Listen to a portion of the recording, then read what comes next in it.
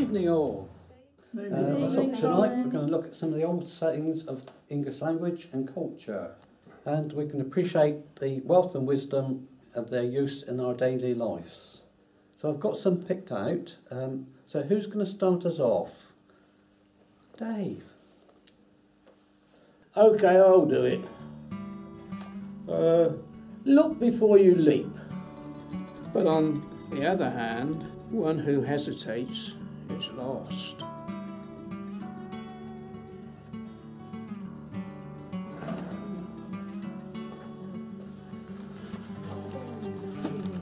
Now, what about the one, um, if at first you don't succeed, try, try again.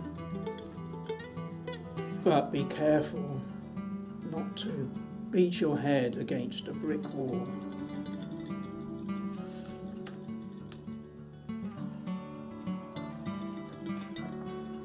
Absence makes the heart grow fonder.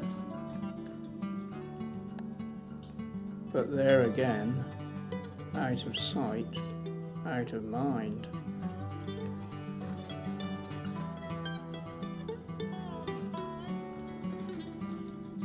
Two heads are better than one. But you can always paddle your own canoe.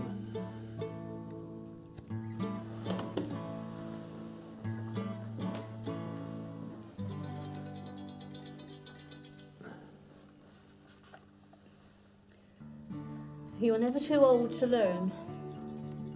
As long as you're not an old dog who cannot learn new tricks.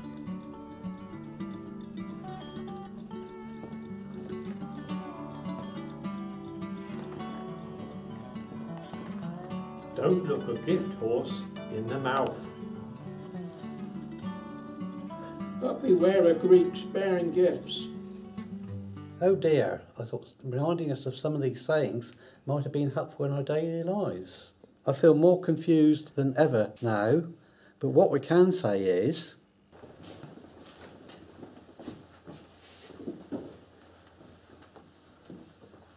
When friends get together, everything else fades into insignificance. Yay!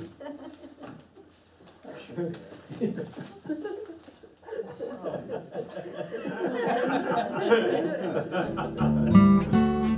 the outtakes are going to be Always the best Interesting outtakes.